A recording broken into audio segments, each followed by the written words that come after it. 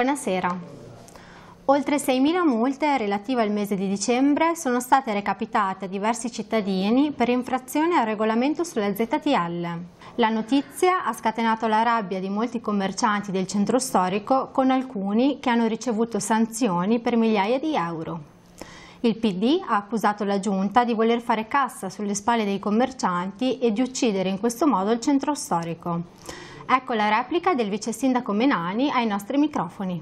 Tantissime polemiche sono nate dopo l'arrivo delle prime multe, ma eh, come avete già ampiamente detto a livello di amministrazione comunale e come ha detto il comandante dei vigili, eh, c'era già stata una sperimentazione che era finita alla fine di novembre, da dicembre a febbraio le cose dovevano andare con la regolamentazione che si era detta.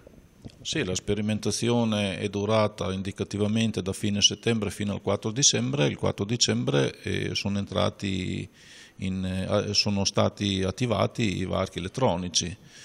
E la sperimentazione abbiamo corretto i primi difetti di, di gioventù dell'impianto e eh, qualche difetto c'è rimasto.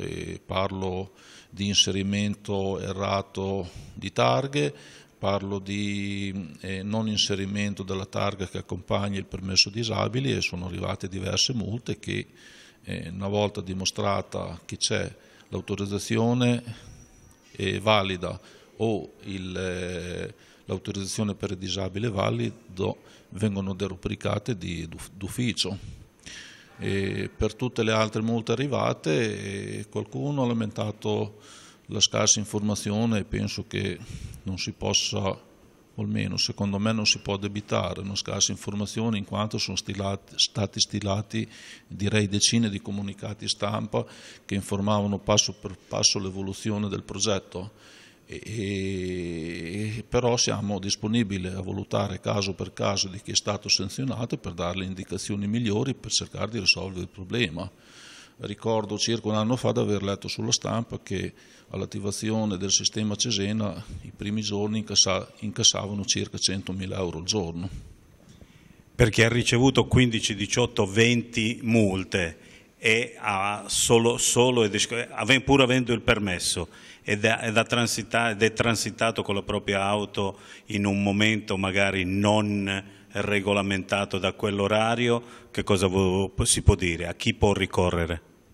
Ma eh, in questo caso sicuramente io non ravvedo il dolo dal transito improprio, io ravvedo una buona fede dovuta o non aver letto eh, in modo corretto gli orari eh, del transito sul permesso o comunque eh, alla noncuranza che il sistema era attivo.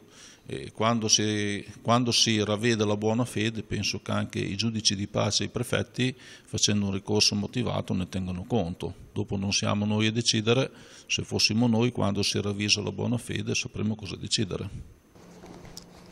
Un arresto ed un ricercato dalla polizia per il furto di rame avvenuto la notte scorsa all'interno dello stabilimento ex Cisa, in via Circonvallazione. Gli agenti del commissariato sono riusciti a mettere le mani solo su uno dei ladri e stanno cercando il complice. Rabia Madid ha comunicato le sue dimissioni dal direttivo della lista civica per Sassuolo, rappresentata in consiglio da Anna Maria Anselmi. Alla base della decisione il cambio di nome del gruppo in Fratelli d'Italia Alleanza Nazionale, definito dalla Madid un piacere ai due colleghi di Fratelli d'Italia e una scelta che non condivido e che va contro i miei principi. Passiamo allo sport.